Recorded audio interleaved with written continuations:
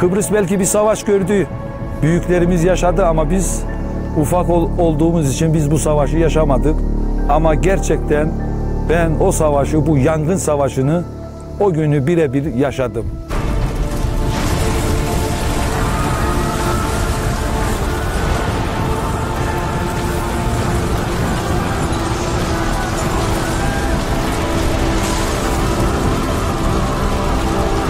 Bir uğultu var, ateşin uğultusu her şeyi bastırıyor. Öğle saatlerinde çıkan yangın ne yazık ki henüz kontrol altına alınamadı. Rüzgarın etkisiyle yangın kısa sürede yayıldı. O bölgede çıktığını duyduğum anda dedim eyvah bu ateş çok büyüyecek çünkü arazi çok çetin. Nefes almakta zorluk çekiyoruz yayın yaparken de e, yoğun bir duman hakim. Bu duman ve kül iskeleye e, ve Tuzla'ya kadar gitmiş diyebiliriz. Ciddi bir alanın yandığı bilgisi var. On binlerce dönüm tamamen yandı. Buradaki bitki örtüleri, buradaki canlılar tamamen ne yazık ki yanarak yok oldu.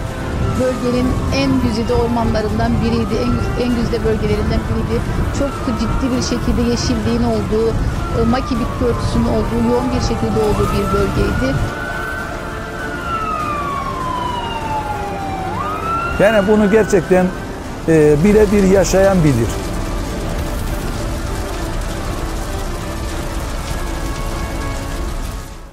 Mersinlik sınırlar içerisinde Ağılar üzerinde bir bölge var. Bu bölgede e, yangın çıktığının haberini geldi. İlk gittiğimde hep Allah'a şunu dua ediyordum.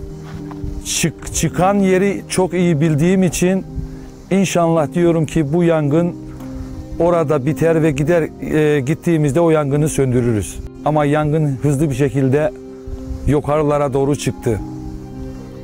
Kendi kendime eyvah gittik. Bu yangın o anda düşündüm. Bu yangın Mersinli köyüne de gidecek.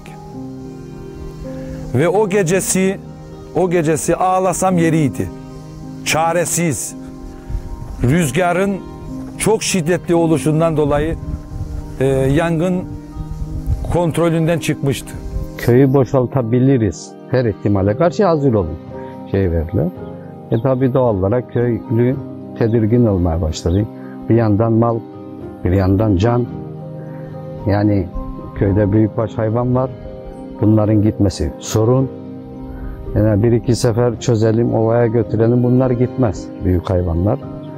Onun için bazıları dedi kamyon getirelim, kamyonlarla şeyden bunları kamyona yüklemek de mesele. Az buz değildir.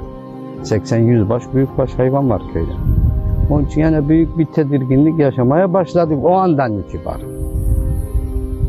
E bir ormanı düşüneceksin. O hayvanlar var ormanda, onları düşün. Yani hangi birini düşüneceksin, hangi birini acıyacaksın.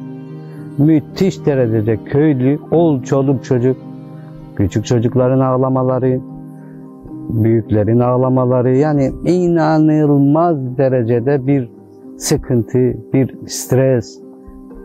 Ne bileyim yani yaşayan, yaşayacaksın ki anlayacaksın. Yaşayan anlar. Biz bunu çok iyi anladık. Beş buçukta haber geldi. Biz bölgeye gittiğimiz andan itibaren eyvah dedim yandık. Çünkü bölgenin yapısını bildiğim için çok sık bir bitki örtüsü.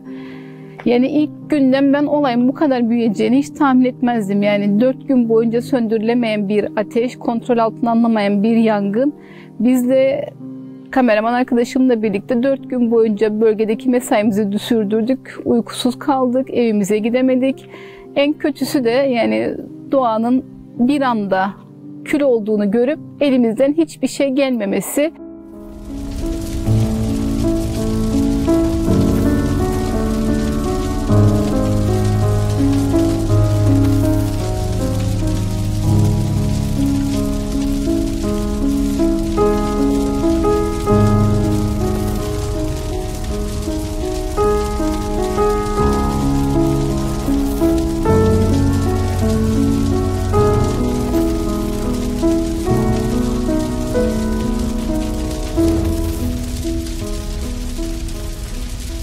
Gün yangını gördüğümde elim ayağım kesildiydi. Ne yapacağımı şaşırdım.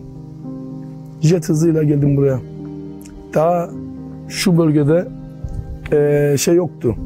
Araçlar yok. Arabamı bıraktım oraya. Dedim emniyete alayım. Sıfır kenara çektim. Ne olur ne olmaz diye. Bu yolu 12 kilometre yürüyerek koşarak koşa gittim. Gittiğimde oraya bittiydim zaten. Ayaklarım kesildiydi. Bölgeye gittiğimde yangının bir anda büyüdüğünü öğrendim. Ee, Sorduğumda gece 2-2.30 gibi e, rüzgarın da e, ters yönden esmesiyle birlikte yangının alevlendiğini ve kontrolden çıktığını e, bilgisini aldım.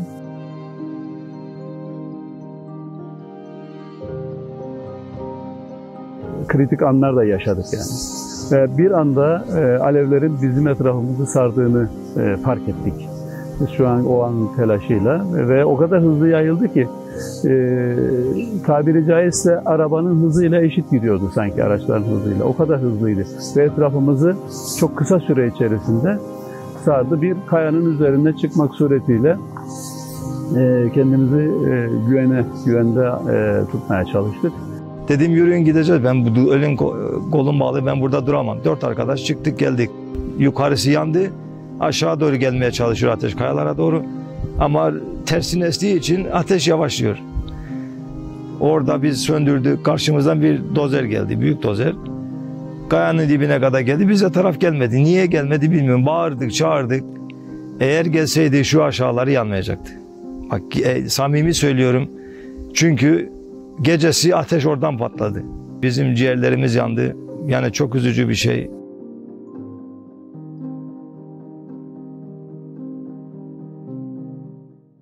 Vatandaşın bir tanesi yardıma geldi iş makinasıyla, kendi aracıyla. Odun motorunu koymuş, çapasını, küreğini bizimle artık mücadele ediyor söndürmeye. Bir haber geldi ki aracının olduğu yer alevler bastı. Hemen dedi ki muhtarım benim aracıma götür de aracımı kurtarayım. Tabii ki insanoğlu önce can, malda canın yongasıdır derler. Hemen araca koydum vatandaşı. Yolda gidiyoruz. ikimiz de dua ediyoruz. İkimiz de dua ediyoruz. Ya Rabbi diyoruz en azından bu vatandaşın aracı yanmasın. Ama maalesef 5 metre kala geldiğim anda araç tamamıyla infilak oldu, kül oldu. Ve o vatandaş tek bir şey söyledi. İnan ki tek bir şey söyledi.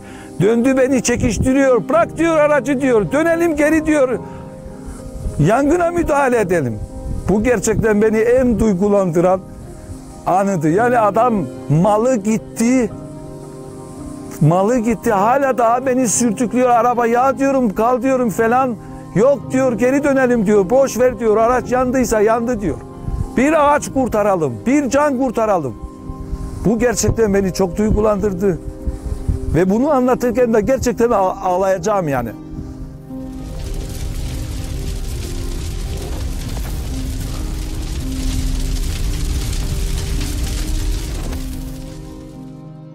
bilinmeyen kahramanlar var. Hiç bilinmeyen kahramanlar var.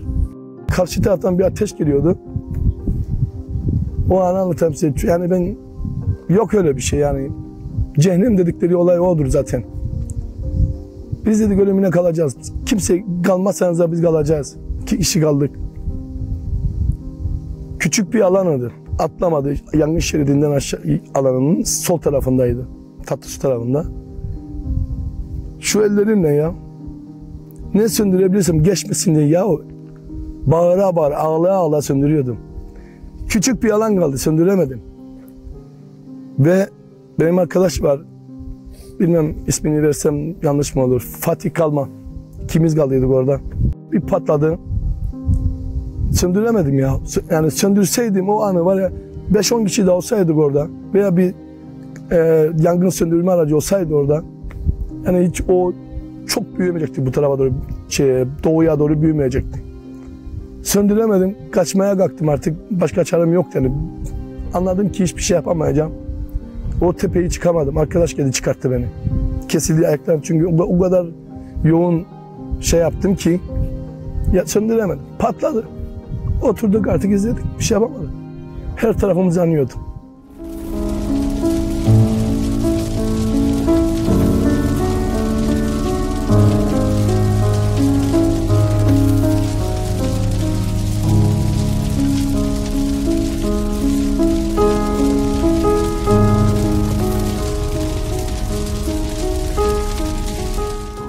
Orada çok kritik saatler yaşandı. Bir eşik bir tepe vardı ki yangında bizim için aslında eşik noktaydı o. Eğer o tepeyi e, yangın aşmış olsaydı bugün e, bulunduğumuz noktada e, biz bunları konuşuyor olmayacaktık ve artık yangının ta Girne'lere kadar ulaşma ihtimali vardı. Bunun bilincinde arkadaşlarımız hiç e, hayatlarını riske atarak, canlarını riske atarak, hiç canlarını düşünmeden büyük bir risk alarak e, tepede o yangına müdahale ettiler. Tabi o arada helikopterin e, bölgeye su atmasıyla birlikte yangının hafiflemesi e, ve bizim de buna müdahale etmemiz, bunda başarılı olmamızı sağladı. O gün yaşananlar çok ilginçtir. Yani o, o, o anı hiç unutamam. O gençlerimizin, belediye çalışanlarımızın e, nasıl canlarını ortaya koyduklarını birebir yaşayan birisiyim. E, o kritik eşiği e, durdurduktan sonra bir aşağıda başka bir tepeden yine geçme ihtimali vardı. Hemen bizim ekiplerimiz süratle oraya intikal ettiler. Ve oradaki e, tepeyi de aynı şekilde tuttuk. Yani sanki e, Sakarya Meydan Muharebesi verir gibi nasıl savaşta tepeleri tutarsınız ki o sizin savaşı kazanmanızda avantaj sağlar size. Biz de bu savaşı kazanmak için yangının tepeye kadar gelmesiyle birlikte o tepeden geçmemesini e, sağladık.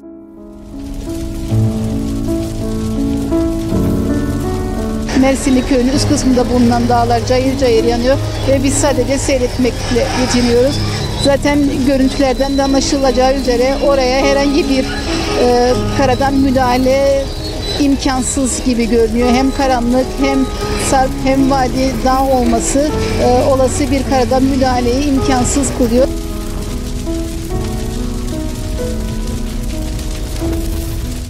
Üzerimizi artık bakmıyoruz. İs olduk, yırtıldı, parçalandı. Vatandaşın bir tanesi, vatandaşın bir tanesi kayalığın üzerine çıkıyor. Sırf ateşe müdahale etsin diye. Yani böyle bir savaş alanı. Telefonum çalıyor hiç kimseye hiç kimseye cevap vermiyorum. Sadece şunu diyorum yanıyoruz.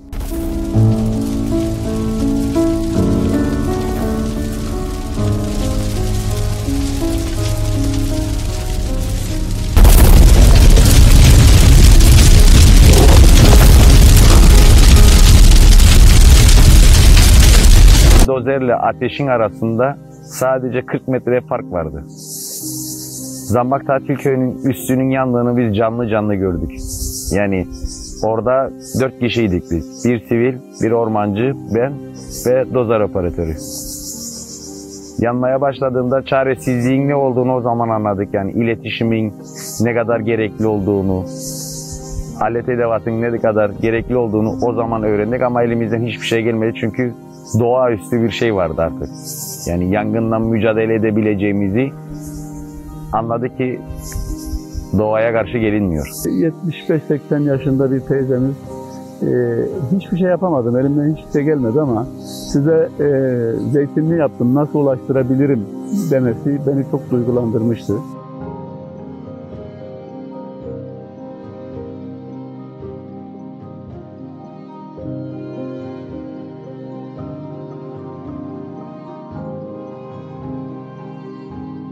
Benim yanımda bir arkadaşım var. Çocuğu arıyor onu. 4 yaşında bir çocuğu. Bak bu, bu bunu da yaşadım. 4 yaşında kız çocuğu arıyor. Baba diyor 4 gündür görmedim seni diyor. Çocuğum diyor geleceğim diyor işteyim. Bilmiyor çocuk yangınla mücadele ediyor. Baba diyor yanacaksın çocuğa çünkü ne kadar şey yapıyorsa yani çocuğu yalan değil de işte hani öğrenmesin. Baba diyor yanacaksın diyor babasız kalacağız diyor. Merak etme diyor çocuğum diyor. Geleceğim diyor. Yahu dedim çocuğa söyle işte şeydesin. E, yangındasın. Nasıl söyleyeceğim diyor. Ömür bi- ömür billah diyor belki de o çocuğun psikolojisinde o kalacak. Yani bunu da yaşadık gerçekten. Dağın Mersin'e 4 kilometre 5 kilometre kala o kısımda söndürdük. Yani o grup yani düşün kimse yoktu orada. O grup vardı başka kimse yoktu. 15 kişiydik. Başka kimse yok. Yoksa geçseydi ne Mersin'lik kalacaktı. Çünkü o vadi çok yoğun ve girilmezdi. Girilmezdi o bölgeye.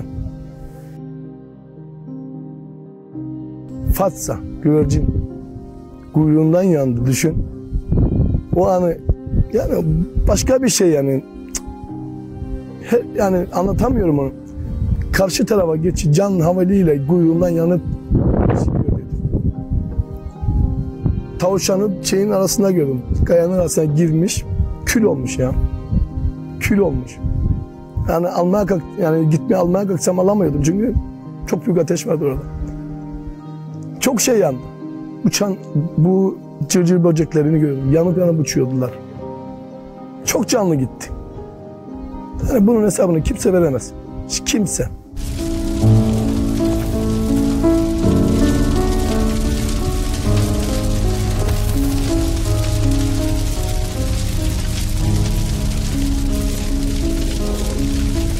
Yukarısı yanmıştı ama aşağıda daha henüz dokanmadı. Şeriften aşağı indik. Meğersem yukarıdan ateş, ateş patladı. O an kaldık orada. Yani nasıl diyeyim, karınca, karıncaların karıncalar var ya. Nasıl kaçıyor, şey yapıyor, hareket ediyorlar görecektiniz ya. Çok farklı bir olay yani. Dibe iniyorlar. Sanki de alarm vermiş gibi böyle birbirlerine haber veriyorlar ve hızlı hızlı. Ama gitti hepsi gitti ya. Hepsi. Yaşayan, yaşayanlar anlayabilir.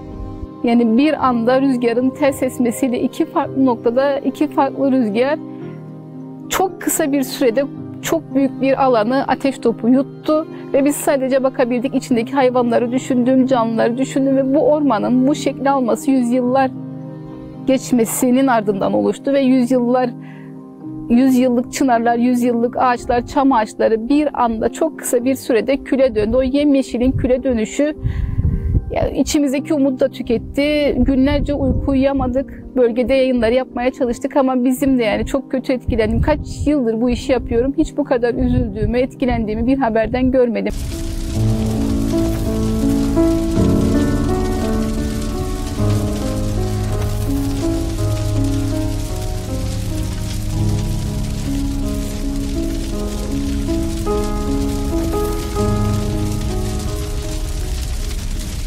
Bir bölgeye e, gittiğimizde bir baktık ki e, küçük bir yangın e, bir tepenin altına doğru ilerliyor. 2-3 kişinin bu yangını söndürebileceği hissi geldi bana o dakika.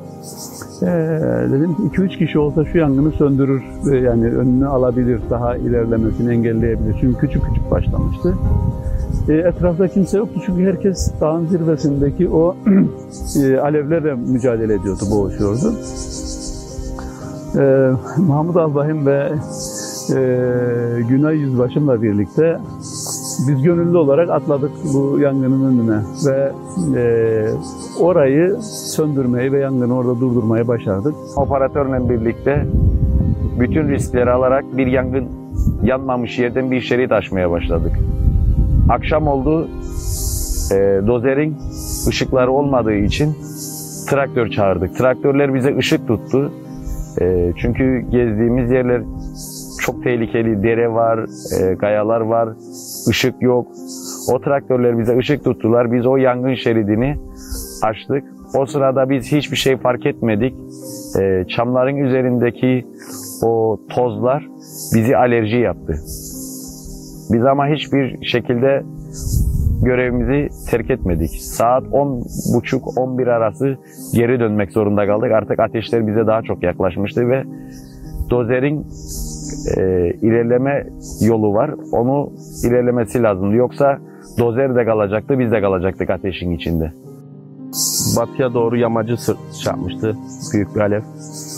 Daha doğrusu biz orada deredeydik ilk önce. Orada dediler ki müdahale edeceğiz dediler yangına. Akşam karanlık olmuş yani 9.30 falandı. 10 oluyordu.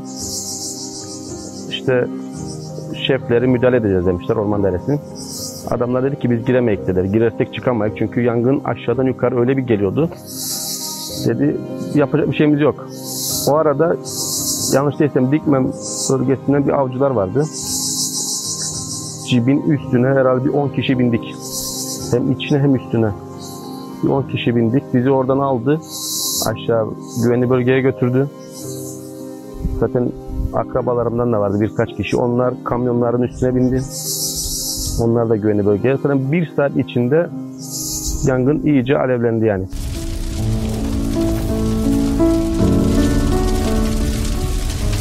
Orman Dairesi Müdürü şu anda yanımızda.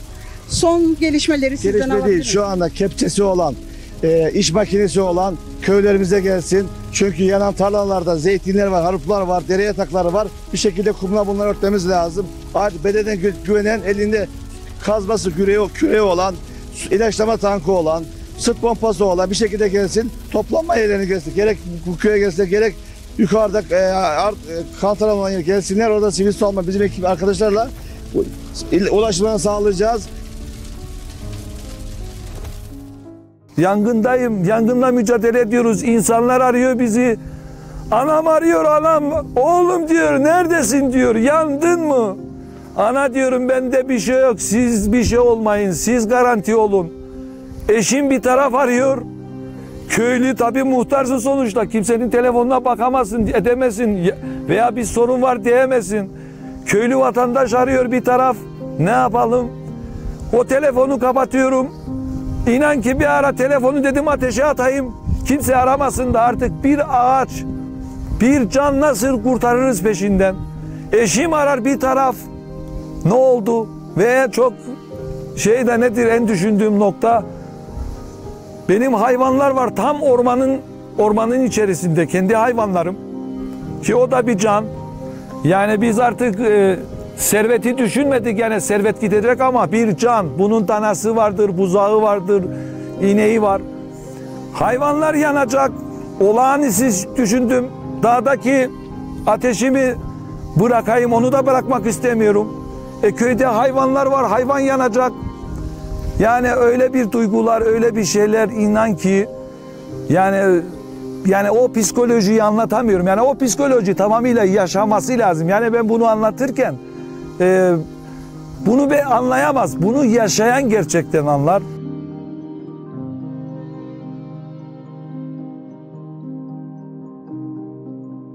Hayatım boyunca sıkıntılar gördük. İşte maddiyat olurdu derdik geç geçer ya. Ya işte arabam kaza yaptı, işte arabam yandı. Ya o geçer. Ama bu öyle bir şey değil ki. Bu hala gerçekten içimize e, büyük bir e, iz bıraktı ve bu iz kolay kolay da içimizden silmeyecek çünkü birebir bunu yaşadım. Hala daha yaşıyorum. Hala daha toz toprak bir araç gördüğümde zannediyorum ki duman çıktı işte bir, bir yerleri yanıyor. Hemen işte koşuşturuyoruz. O da, oysa bakıyoruz ki araç geçerken toz çıkardı. Yani bu insan psikolojisini gerçekten çok büyük etkiledi ve en fazla etkileyen kişilerden biriydim. Ve hala da öyleyim. Sabaha kadar gene oradaydık. İşte bir yer hemen alevleniyor, hemen koşuşturuyoruz. Bazen öyle bir şey oluyor artık hayal midir, artık neyse. Puharlaşma bir şeyi de duman olarak görüyoruz, koşuşturuyoruz sağa sola. Yani bunu gerçekten e, birebir yaşayan bilir.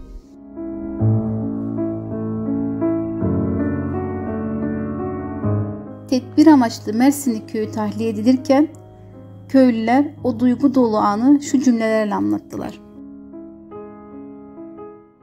Herkes korktu, herkes. Bilhassa çocuklar çok etkilendi. Çocuğu görüyorsun ağlıyor, için gidiyor. Orayı görüyorsun yanıyor, için gidiyor. E bir yandan hadi boşaltıyoruz diyorlar. Ona git diyorsun, gitmem diyor. Çocuğa git diyorsun, gitmem diyor. Hanımlara diyorsun gidin. Yok ki hayvanlar ne olacak? Siz ne anlarsınız hayvanlardan? Onların dilinden biz anlarız. Biz çıkarırız. Ya zorla gönder. Bayanları da biz zorla gönderdik. Hiç kimse gitmek istemiyordu. Yerini yurdunu terk etmek istemiyor. E ağlaması bir taraftan farklı farklı şeylere girdik. Yani düşüncelere girdik. Polisler bizi ilk çıkardığında şurada bayanları eşlerimizi şurada bırakıp hüzünle bize bakmalarına çok üzüldüm.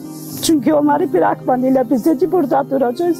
Hüzünle bize hep bayanlar, eşlerimiz bize bakıyordu. Biz de onlara. Bilmiyorum çok zor bir duygu. Ben dedim gitmem. Ben gitmem çünkü benim hayvanım var. Direkt bu dağın arkasındaydı. Direkt bana inecekti. Ben gitmem dedim. Yani son çare hayvanı kurtaracağım öyle. Ben gitmem artık. Arkadaşlar arar beni köyü terk et diye. Gitmem dedim. En son gidecek olan benim. Artık yanalım yani sesimizi duyuramıyoruz.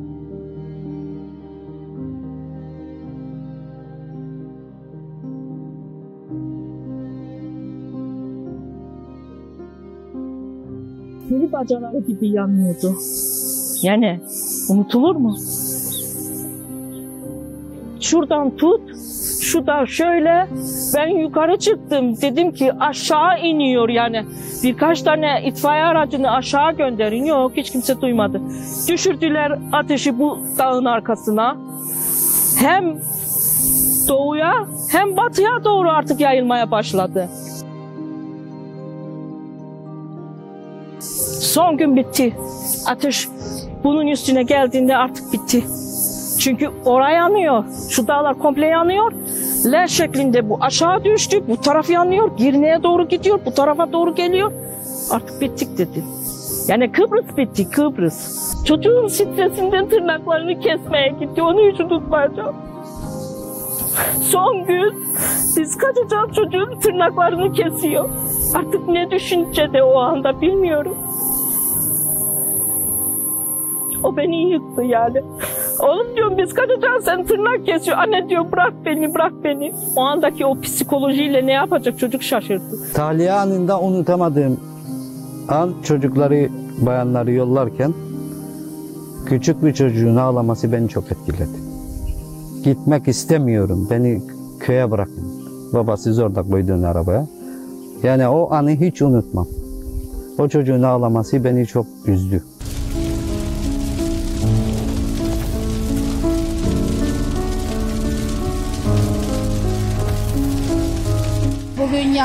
Üçüncü günü. Hemen arkamda Eser kameraman arkadaşına rica edeceğim. Greyderlerin çok ciddi bir çalışması var. Bölge temizleniyor. Ee, yangının farklı bölgelere sirayet etmemesi için canla başla çalışılıyor. Yine aynı şekilde Kantara'nın olduğu bölgede de çok ciddi bir çalışma hakim. Ee, yangının Kantara'ya sıçrama riski halen daha devam ediyor.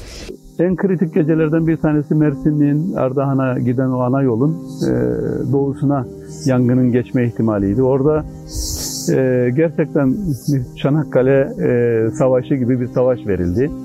Bütün herkes oradaydı. Büyük bir mücadele verildi. Yangın ilk seferinde birazcık atladı ama hemen anında bastırıldı ve gerçekten o, o eşik noktaya geçmiş olsaydı, o yolu karşıya geçmiş olsaydı doğu kısmına bugün Kantara kül olmuş vaziyetteydi. Şu yukarıdaki üçüncü gün çalışmasından şu ta BRT tarafına geçmemesi, burada büyük bir hummalı çalışma, insanların orada dizilmesi ve en son çare o alttan yakılmasıyla beraber iyi ki düşünüldü. Yukarıdan gelen ateşi aşağıdaki ateşle karşılık verdi. Orada o, o ara kesildi ve bu iş bitti. O yana gitseydi Zafer burnuna kadar gidecekti. Hiç kimse durduramaz diyor. Hiç kimse. Burada ne kaya var ne şey var. Kibrit çöpü gibi gidecekti yanacak.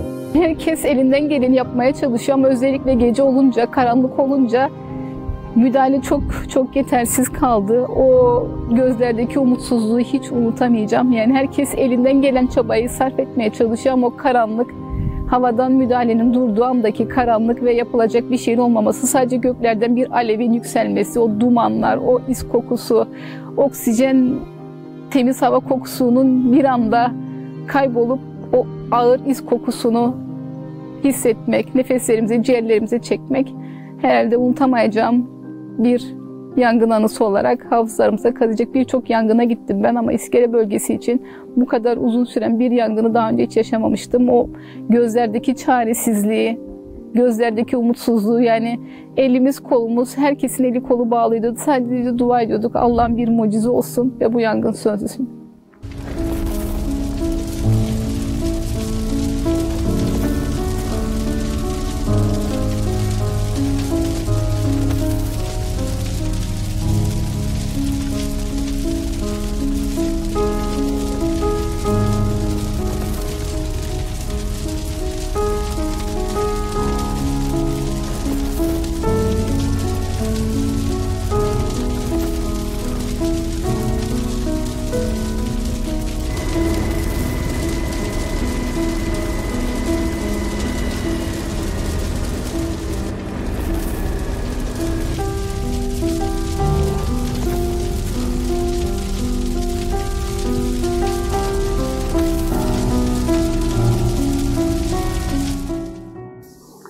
O mücadele öyle bir noktaya geldi ki artık e, insan gücünün e, yetemeyeceği e, bir noktaya ulaştı. Yangınlar, alevler çok büyüdü çünkü çok güçlü ormanlara ulaşmıştı orada yangınlar.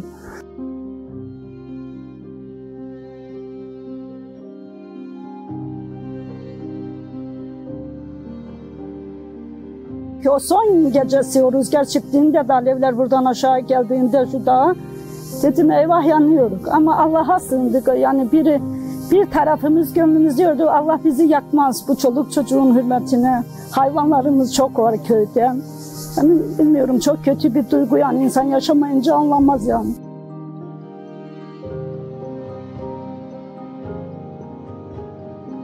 En son artık çareler bitti tükendi. Baktık ki bu ne havasından ne karasından ne hiçbir şeyinden. Çekildik artık bir yerde bekliyoruz. Artık ya kaçacağız yani kaçmak için bekliyoruz. Başka bir mücadele yok yani bunun sonuna geldi artık. E bunu ben insanlarıma da anlatamıyoruz işte tamam bu bitti hadi kaçalım da diyemezsin. Sonuçta işte bir parça bir şeyin varsa bir canlı yaşıyorsa onun telaşındasın.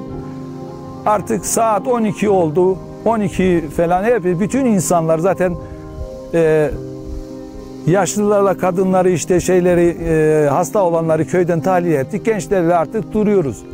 Ama herkes böyle bir bakıyor. Herkes bir umut içinde. Herkes bir umut içinde bekliyor. Bir mucize.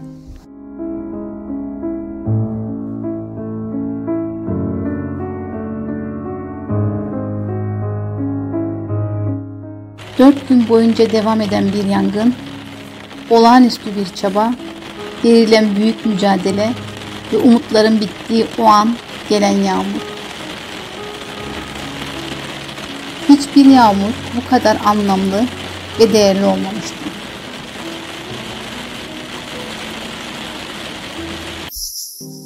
Umutların tükendiği bir anda e, herkes büyük bir moral çöküntüsü içerisinde e, olayı izlerken bir gök gürlemesi, bir fırtına, 5 saniye sonra gelen o mucize yağmur Allah e, bize o anı yaşattı. Yani e, o yağmur öyle bir yağdı ki sadece e, o yangını söndürmek için yağmış bir yağmurdu. Ancak o şiddette yağan bir yağmur o, o yangını söndürebilirdi. Herkes havaya bakıyordu, yağmuru bekliyordu.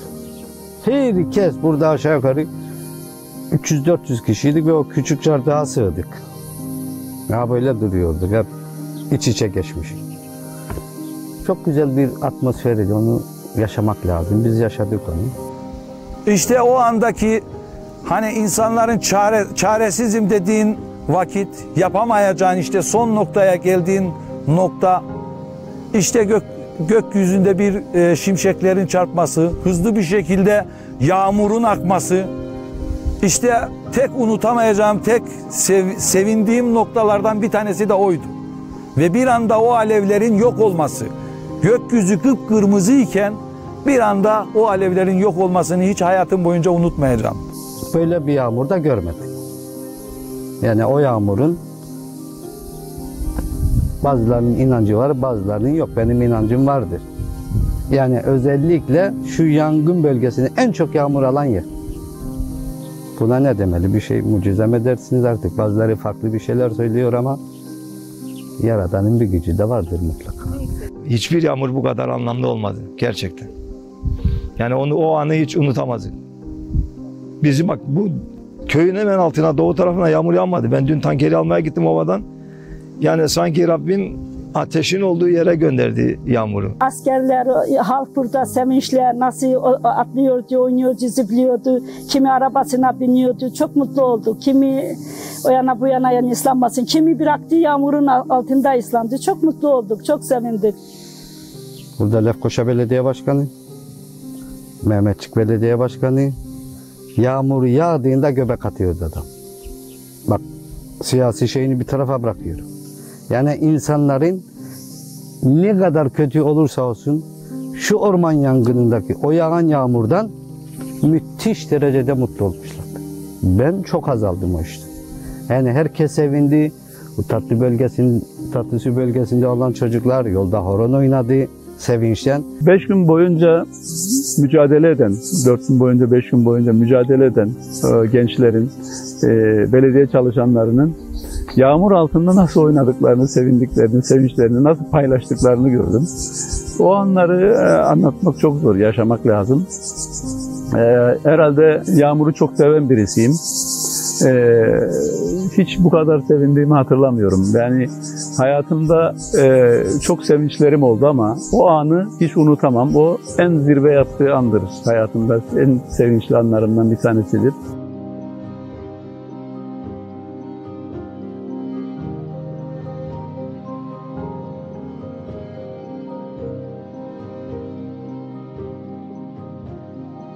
Bu beş gün bana hayal geliyor şimdi.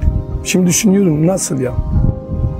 Oldu bitti ama nasıl bir şey yani? Bir gün öncesi bu gittiğim yol iki aracın aynaları dallara sürtünürken ama şimdi geldim gördüm ki ne bir dal ne bir ağaç ne hiçbir şey. Hani derler ya e, ciğerimiz yanıyor.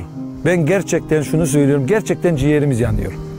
Şu an solunum yaptığımız ağacın oksijeni değil tamamıyla isi ve kokusu.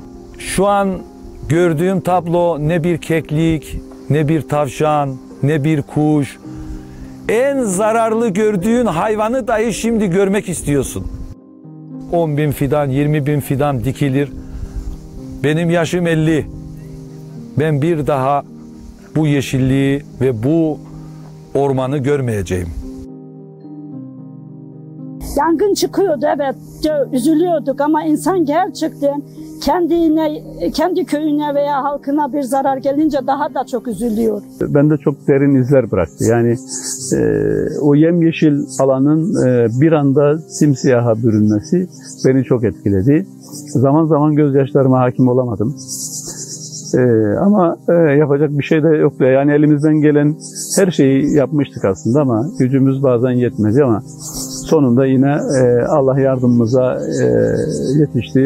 Güzellikler gitti. Tatlı su, yeşil ve deniziyle meşhurdu, dağıyla meşhurdu. Yani bitti. Ben çocukluğumu hatırlıyorum. 94'lerde, 95'lerde ekilmişti yani bu çam ağaçları ekilmişti. Yani kimisi 92'de ekilenler var. Daha önce ekilenler var. Yani çok ağaçlar yandı.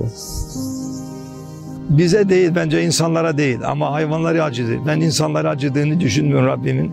Hayvanlara acıdı çünkü insanlar kadar zararlı doğaya hiçbir mahluk yok.